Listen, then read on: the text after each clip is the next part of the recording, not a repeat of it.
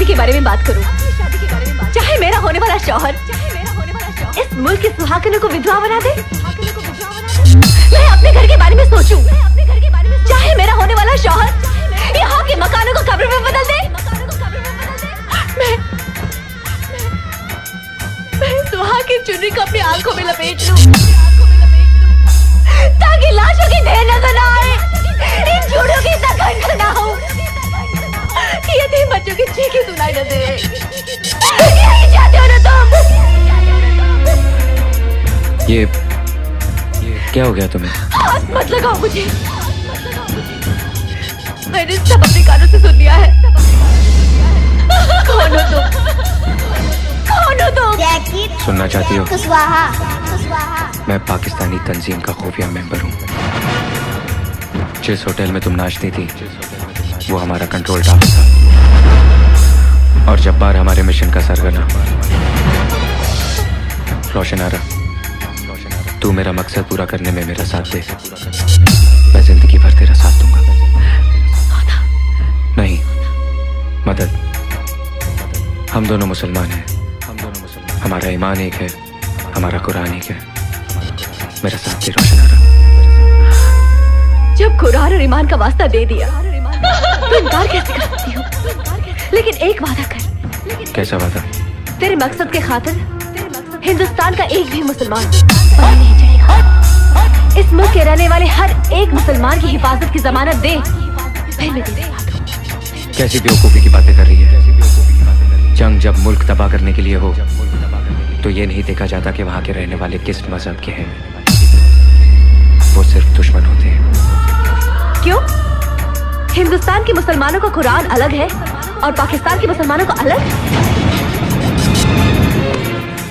अगर तेरी नज़र में यहाँ के मुसलमान दुश्मन है तो मैं तेरी दोस्त कैसे हो गई?